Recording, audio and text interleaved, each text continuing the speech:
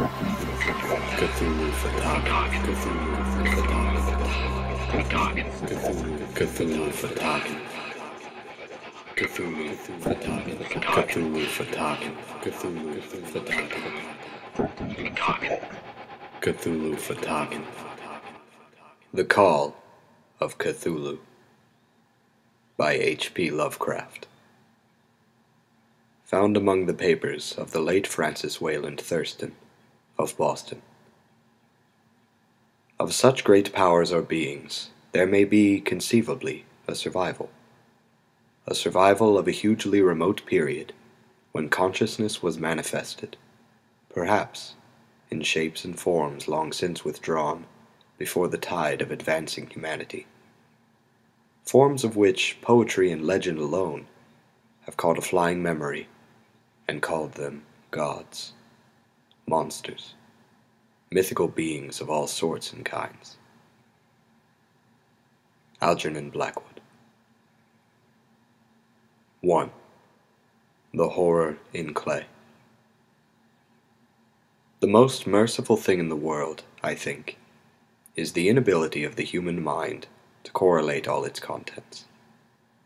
We live on a placid island of ignorance, in the midst of black seas of infinity. And it was not meant that we should voyage far. The sciences, each straining in its own direction, have hitherto harmed us little. But some day, the piecing together of disassociated knowledge will open up such terrifying vistas of reality and of our frightful position therein, that we shall either go mad from the revelation or flee from the deadly light into the peace and safety of a new dark age. Theosophists have guessed at the awesome grandeur of the cosmic cycle wherein our world and human race form transient incidents. They have hinted at strange survivals in terms which would freeze the blood, if not masked by a bland optimism. But it is not from them that there came the single glimpse of forbidden aeons which chills me when I think of it and maddens me when I dream of it. That glimpse, like all dread glimpses of truth, flashed out from an accidental piecing together of separated things. In this case, an old newspaper item and the notes of a dead professor. I hope that no one else will accomplish this piecing out. Certainly, if I live, I shall never knowingly supply a link in so hideous a chain. I think that the professor, too, intended to keep silent regarding the part he knew, and that he would have destroyed his notes had not sudden death seized him. My knowledge of the thing began in the winter of 1926 to 27, with the death of my granduncle, George Gammell Angell, professor emeritus of Semitic languages in Brown University, Providence, Rhode Island.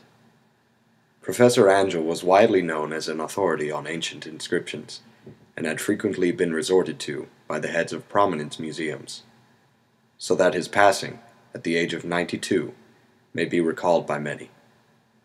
Locally, interest was intensified by the obscurity of the cause of death.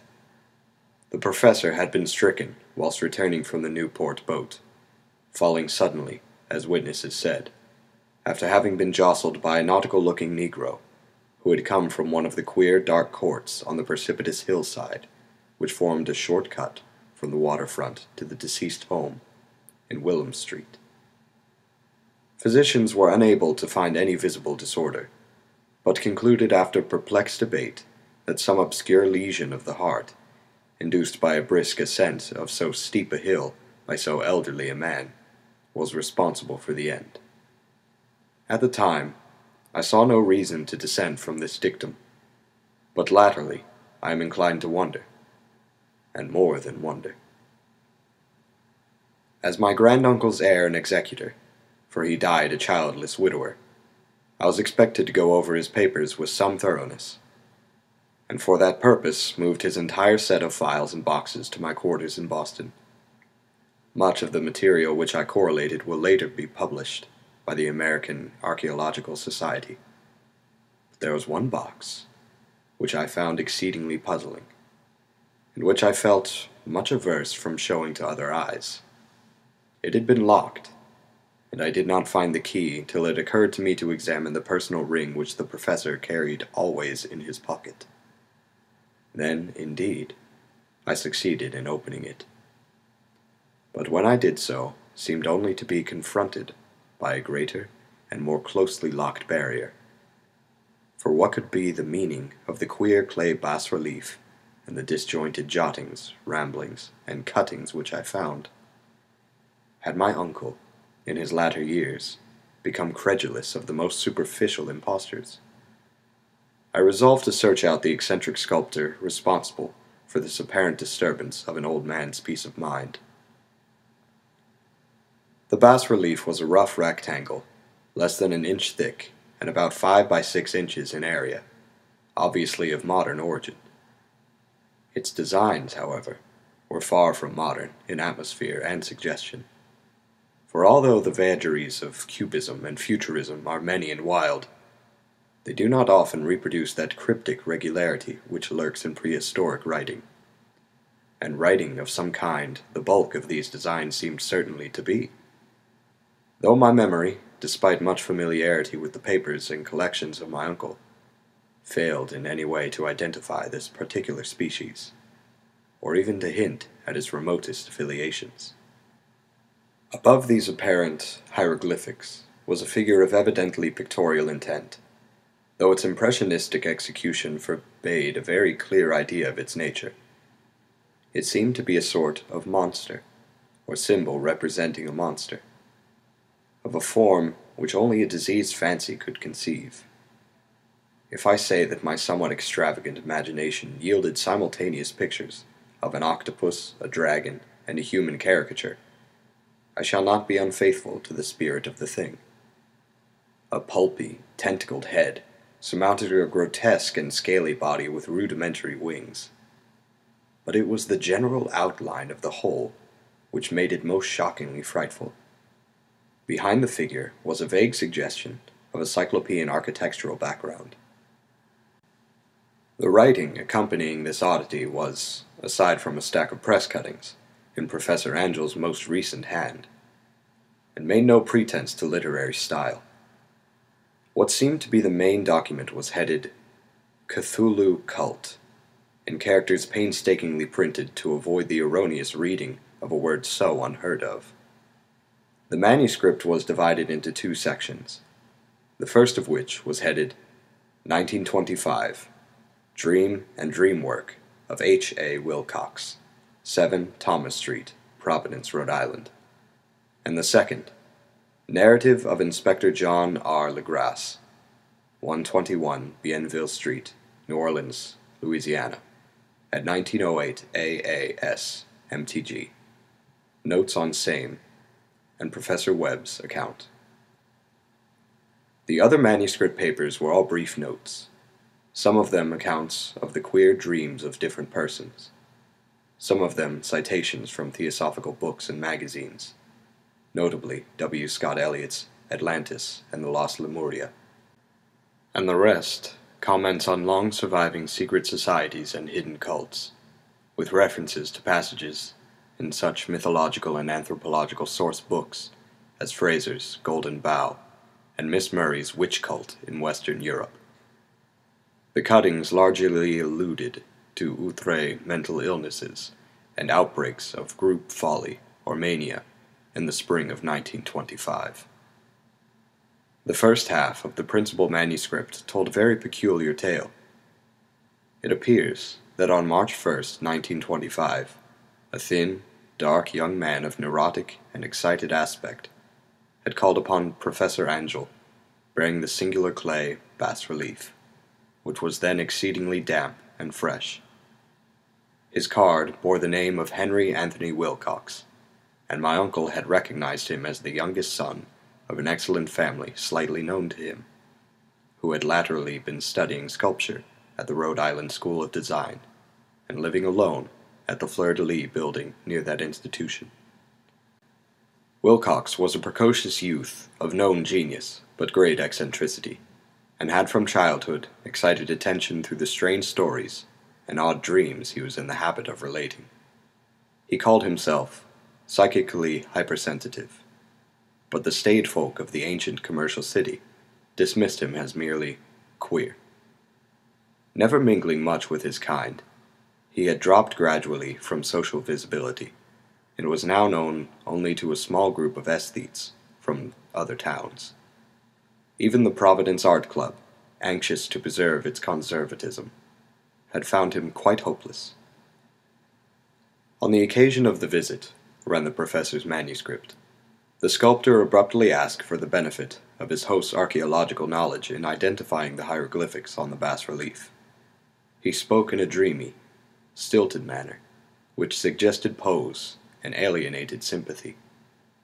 And my uncle showed some sharpness in replying, for the conspicuous freshness of the tablet implied kinship with anything but archaeology. Young Wilcox's rejoinder, which impressed my uncle enough to make him recall and record it verbatim, was of a fantastically poetic cast, which must have typified his whole conversation, and which I have since found highly characteristic of him. He said, It is new indeed, for I made it last night in a dream of strange cities, and dreams are older than brooding Tyre, or the contemplative Sphinx, or garden girdled Babylon. It was then that he began that rambling tale which suddenly played upon a sleeping memory and won the fervid interest of my uncle. There had been a slight earthquake tremor the night before, the most considerable felt in New England for some years, and Wilcox's imagination had been keenly affected. Upon retiring, he had had an unprecedented dream of a great cyclopean cities of titan blocks and sky-flung monoliths, all dripping with green ooze and sinister with latent horror. Hieroglyphics had covered the walls and pillars, and from some undetermined point below had come a voice that was not a voice, a chaotic sensation which only fancy could transmute into sound, but which he attempted to render by the almost unpronounceable jumble of letters Cthulhu Fhtagn. This verbal jumble was the key to the recollection which excited and disturbed Professor Angell. He questioned the sculptor with scientific minuteness, and studied with almost frantic intensity the bas relief on which the youth had found himself working, chilled and clad only in his night clothes, when waking had stolen bewilderingly over him. My uncle blamed his old age, Wilcox afterward said, for his slowness in recognizing both hieroglyphics and pictorial design. Many of his questions seemed highly out of place to his visitor, especially those which tried to connect the latter with strange cults or societies, and Wilcox could not understand the repeated promises of silence which he was offered in exchange for an admission of membership in some widespread mystical or paganly religious body. When Professor Angell became convinced that the sculptor was indeed ignorant of any cult or system of cryptic lore, he besieged his visitor with demands for future reports of dreams. This bore regular fruit, for after the first interview, the manuscript records daily calls of the young man, during which he related startling fragments of nocturnal imagery, whose burden was always some terrible cyclopean vista of dark and dripping stone with a subterranean voice or intelligence shouting monotonously in enigmatical sense impacts, uninscribable, save as gibberish. The two sounds, most frequently repeated, are those rendered by the letters Cthulhu and R'lyeh. On March 23rd, the manuscript continued, Wilcox failed to appear and inquiries at his quarters revealed that he had been stricken with an obscure sort of fever and taken to the home of his family in Waterman Street. He had cried out in the night, arousing several other artists in the building, and had manifested since then only alternations of unconsciousness and delirium. My uncle at once telephoned the family, and from that time forward kept close watch of the case, calling often at the Thayer Street office of Dr. Tobey, whom he learned to be in charge. The youth's febrile mind, apparently, was dwelling on strange things, and the doctor shuddered now and then as he spoke of them. They included not only a repetition of what he had formerly dreamed, but touched wildly on a gigantic thing miles high, which walked or lumbered about. He had no time fully describe this object, but occasional frantic words, as repeated by Dr. Tobey, convinced the professor that it must be identical with the nameless monstrosity he had sought to depict in his dream sculpture. Reference to this object, the doctor added, was invariably a prelude to the young man's subsidence into lethargy. His temperature, oddly enough, was not greatly above normal, but his whole condition was otherwise such as to suggest true fever rather than mental disorder. On April 2nd, at about 3 p.m., every trace of Wilcox's malady suddenly ceased. He sat upright in bed, astonished to find himself at home, and completely ignorant of what had happened in dream or reality since the night of March 22nd.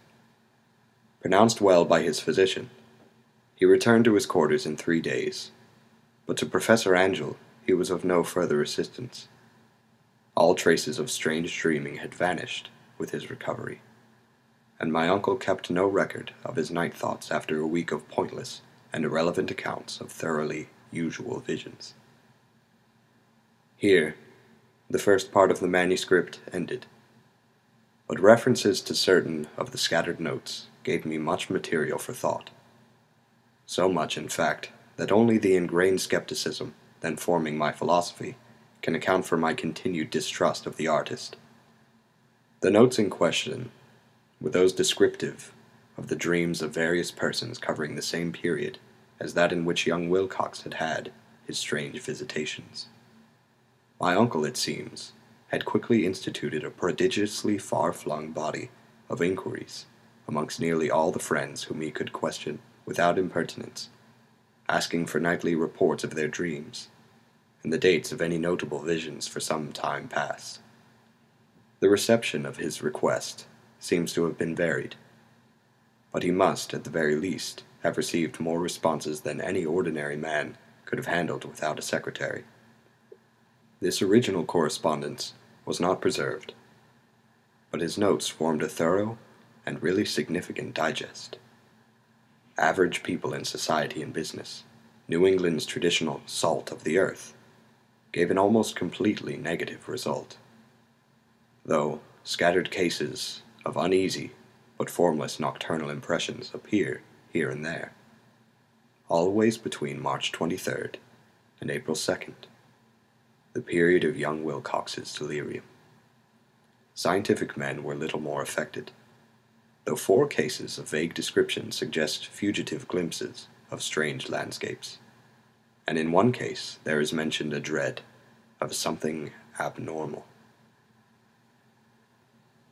It was from the artists and poets that the pertinent answers came and I know that panic would have broken loose had they been able to compare notes.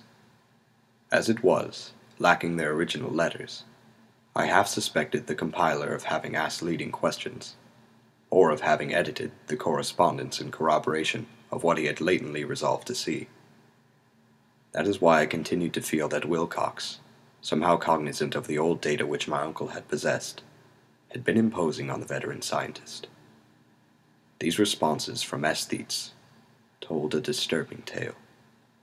From February 28th to April 2nd, a large proportion of them had dreamed very bizarre things, the intensity of the dreams being immeasurably the stronger during the period of the sculptor's delirium.